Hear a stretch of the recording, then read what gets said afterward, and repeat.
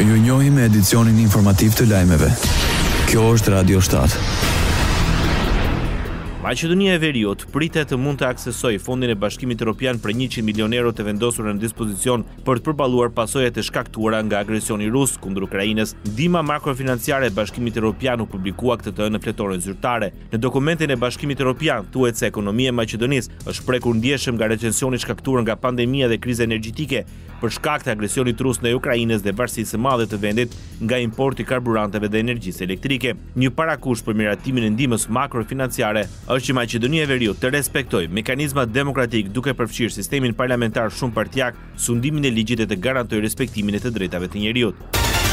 Helikopterët e Maqedonisë së Veriut janë gati për të ndërhyrë në rast të prekjes nga zjarret. Ministria e Mbrojtjes deklaroi se nga muaji maj në armatë është dhënë urdhri për gatishmëri në kazerma. Edhe në njësinë e helikopterëve të cilët qëndrojnë në gatishmëri nëse ka nevojë për angazhimin e tyre për përballjen me çfarëdolloj zjarri, ata janë të përgatitur për të reaguar sa më shpejt, nënvizoi Slavjanka Petrovska.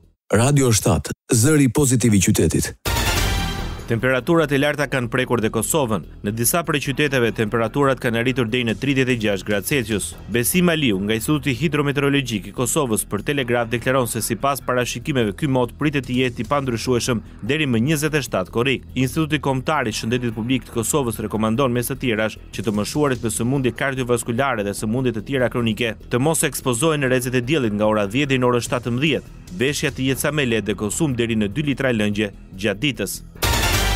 As zëvendëskryeministri i Kosovës nuk merr pjesë në tryezën e liderëve të vendeve të Ballkanit Perëndimor që mbahet në Tiranë. Besnik Bislimi deklaroi përmes këshilltarit për media, Klisman Kadiu, se nuk ka qenë e planifikuar pjesëmarrja e tij në Tiranë. Reagimi erdhi pasi media të ndryshme njoftuan se zëvendëskryeministrit të Kosovës iu është refuzuar ftesa. Shkak mendohet të jetë tryeza e nivelit të lartë në rang kryeministrash të vendeve të rajonit që mbahet në Tiranë.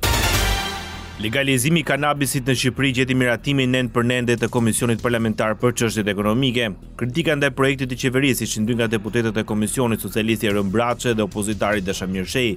Braçe kërkoi fillimisht që lejet për kanabisin të jepen vetëm në një parcelë të kufizuar. Unë propozoj që në nenin njëzet e një të kreut katër, pajisja me leje për ushtrimin e aktiviteteve të lidhura me prodhimin e kanabisit industrial, të vendoset kufizimi prej dyqind hektarësh njësoj si në nenet respektive sa i takon kanabisit për qëllime mjekësore. Kërkesa gjeti përkrahjen dhe të Dashamir Shehit. Kjo është një eksperiencë e parë që, në është me sukses, në s'është pa sukses Hajde ta shikojmë. Nuk ka nevojë me mbjell 200 hektar për këtë punë. Me pas se sa fitohet nga kjo punë, se si funksionon. Mbjell një herë 50, po do të pse që të bëhet, kuptohet domethënë që kjo sasi vjen nga prodhimi, nga ato hektarët atje, apo vjen nga mali nga të tjerët, përzihen, përpunohen bashkë. Me gjithë miratimin e tij, kryetari i Komisionit Eduard Shalsi kërkoi që të bëhen ndryshimet përkatëse për përfshirjen e kërkesave të parashtruara nga deputeti Erion Braçe.